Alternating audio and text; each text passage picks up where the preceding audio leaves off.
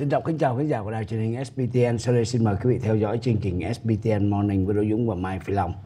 Thưa quý vị, SBTN Morning được đài truyền hình SBTN trực tiếp truyền hình từ miền Nam California mỗi ngày từ thứ hai thứ sáu từ 8 giờ sáng 9 giờ sáng giờ California. Hôm nay là ngày thứ hai 9 tháng 8 năm 2021. Chúng tôi xin bắt đầu chương trình với à, cái Thế vận hội ở Tokyo vừa mới bế mạc ngày hôm qua. Và thưa quý vị, à, ngày hôm qua thì uh, Tokyo đã sáng rực ở tại sân vận động quốc gia sau khi có cái lễ bế mạc. À, và tưởng chừng như là đã không có thể tổ chức được mà cuối cùng tổ chức được. Và nước à, thưa quý vị đó là một số màn trình diễn của thế vận à, lễ bế mạc thế vận hội thì hôm qua anh long có coi cái lễ bế mạc này không À, tôi có xem được một à, một ít nhưng không xem được hết. Nhưng mà khi mà xem thưa quý khán thính giả chúng ta qua bên Paris thì có thể chúng ta lại hướng tới bắt đầu nghĩ tới một cái tương lai à, sắp tới một cái tương lai gần chừng 3 năm tới nữa thì có thể chúng ta hy vọng là thế giới lúc đó sẽ được sáng sủa hơn bây giờ một cái thế vận hội Olympic ở Paris nó sẽ không bị ám ảnh như cái Olympic đã diễn ra trong những ngày vừa qua. Thưa anh. Vâng. Và thưa quý vị, trong khi uh, Tokyo thì uh, bế mạc uh, Thế vận hội 2020 thì tại uh, bên Pháp uh, bà con cũng ăn mừng uh, coi như nhận cái ngọn đuốc à, từ à, bên Tokyo và sẽ họ tổ họ sẽ tổ chức à, Thế vận hội vào năm 2024 và trên mình quý vị thấy đó là người dân Pháp tập trung ở tháp Eiffel dự à, ca nhạc và coi như đón nhận cái à, quyền đăng cai à, cái à, 4 năm tới. Thì à, tại cái lễ này thì à, thị trưởng của Paris là bà Anne Hidalgo đã nhận cái trách nhiệm coi như cầm ngọn đuốc à, coi như là từ bên Nhật chuyển qua. Và trên màn à, bầu trời quý vị cũng thấy là máy bay của Pháp bay để cái- với cái à, màu cờ tam tài là cờ Pháp. Quelle émotion, quel, quel- quel grand moment quelque part de célébrer ce retour des Jeux à la maison 100 ans après. Thì, de- hy vọng rằng là 3 năm tới ờ, tôi với anh Dũng có được ờ, giám đốc Trúc Hầu gửi đi qua bên Nam qua bên Tây. Tường thuật Olympic đem lại không khí cho quý vị và cũng hy vọng rằng là 3 năm nữa là không khí ở cái cái, cái chuyện bệnh dịch nó sẽ coi như là chỉ là một cái kỷ niệm. Vì lúc đó là cái chuyện chích ngừa nó đã đầy đủ hoàn toàn đầy đủ. Và những uh, những cái biến thể thì con người cũng tìm được một cái cách để mà gọi là chế ngự chúng.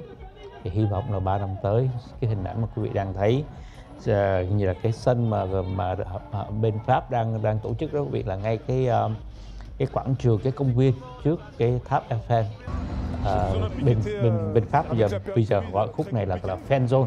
Những cái sự kiện thể thao lớn thì họ sẽ đưa những cái truyền hình ở nơi đây rất lớn dài những cái màn ảnh rất lớn rồi dài chẳng chặt đó là khoảng chừng cả chục cái um, tivi lớn để chỉ để người dân họ tập trung ở những khu này để họ xem thì uh, hy vọng rằng là 3 năm tới tôi với anh có dịp đi qua bên đó Vâng và thưa quý vị uh, trong những ngày cuối ờ, của Thế vận hội thì uh, có một sự kiện ngoạn mục đó là Hoa Kỳ đã có thể nói là chuyển bại thành thắng.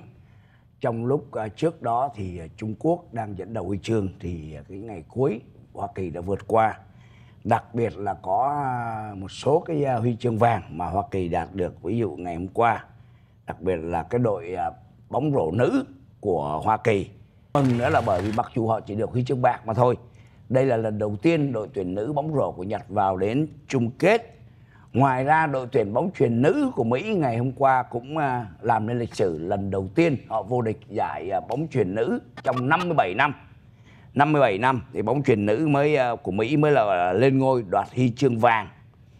Uh, đó là hai cái điểm mà đáng chú ý à, ngày hôm qua. Thì à, tổng à, sắp các bảng huy chương đó như nãy quý vị vừa mới coi đó xin ban kỹ thuật cho coi cái bảng tổng sắp huy chương à, để coi đây. Và chúng ta thấy là đội Mỹ đứng đầu ờ, với cái à, gọi là uh, 39 huy chương vàng. Không? 39 huy chương vàng. Trong tổng số là 113 cái huy chương trong khi là Trung Quốc chỉ có 38 huy chương thua đúng một huy chương vàng anh Long yeah. và tổng số huy chương thì họ thua xa Mỹ. Ờ, vì sao ờ, đội tuyển Trung Quốc thua ờ, và đội tuyển Mỹ thắng thì ờ, chúng tôi nó có những cái yếu tố như thế nào? Một phần nào chúng tôi sẽ phân tích rõ hơn với quý vị trong chương trình xoáy tin vào lúc 11 giờ ngày hôm nay.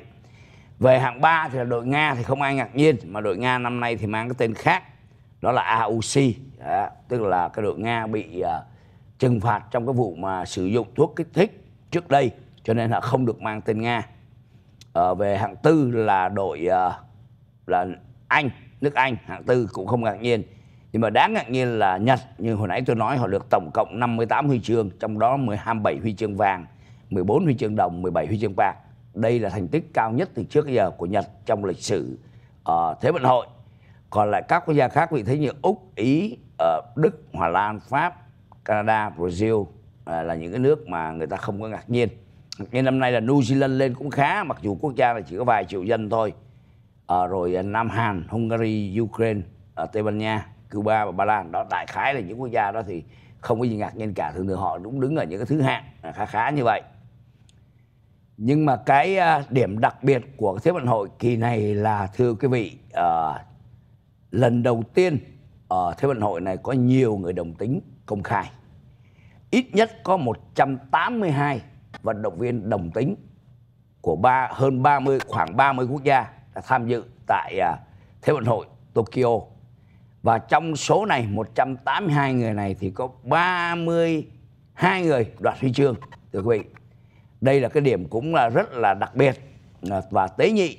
Nhiều quốc gia uh, thừa nhận Ờ, đồng tính. Nhưng một số quốc gia vẫn chưa có thừa nhận, đặc biệt cái nước chủ nhà là nước Nhật. Về mặt chính sách thì họ chưa có công nhận người đồng tính. Một số đa số các quốc gia phương tây họ công nhận rồi. Nhưng mà ờ, anh anh long thử tưởng tượng lực sĩ đồng tính vận động viên đồng tính tham dự tại một quốc gia mà khá là bảo thủ là như nước nhật mà họ đã công khai như vậy thì ờ, phải nói là họ đi ngồi lội ngược dòng rồi anh. Yeah có nghĩa là uh, truyền thông rồi công chúng nhật là nhìn vô như thế nào. Đó vậy mà 182 người cũng được 32 người có huy chương thưa anh. Mà chúng ta cũng thấy là trong những ngày vừa qua nước Nhật cũng uh, mặc dù cái quan điểm mà bảo thủ về vấn đề mà đồng tính nó cũng rất là nặng nề nhưng mà trong thời gian vừa qua cũng có nhiều cái sự thay đổi. Và cái chuyện đó chúng ta thấy rằng là ngay trên sân khấu nước Nhật các ờ, nhà thể thao đã bày tỏ cái the true color có nghĩa là cái bản chất thật của mình. Ừ. không một cách ờ, trên đấu trường thế giới. Thì thưa quý vị người Nhật cũng muốn cản cản cũng không được. Dạ. Cản cũng không được. Nhưng mà chúng ta sẽ thấy rằng là có một cái sự gì đó thay đổi. Và qua cái chuyện này cái ánh mắt của người khác nhìn nó cũng thay đổi. Thí dụ như chúng ta thấy là khi mà à, đội tuyển túc cầu nữ của Hoa Kỳ quyết định rằng là họ sẽ quỳ gối để mà họ vinh danh những cái chuyện mà những người đứng lên chống lại cái sự kỳ thị chủng tộc kỳ thị giới tính kỳ thị những cái người mà khác với mình. Cái sự quỳ gối đó nó không phải chỉ riêng cái vấn đề chủng tộc nó còn nhiều cái chủ đề khác nhau. Thì trong cái thế vận hội à, 2020 này thì chúng ta thấy rằng là nó biểu hiện được rất rất rất rất nhiều. Và câu chuyện này cũng còn nhiều nhiều cái. Bây giờ thế vận hội kết thúc nhưng mà những người mà đem những cái huy chương về cho từng quốc gia đặc biệt ở tại Hoa Kỳ thì người dân Hoa Kỳ tiếp đón như thế nào? Xin quý vị tiếp tục dưới băng tầng SPTN. Chúng tôi sẽ quay trở lại ngay sau ít phút thông tin thương mại.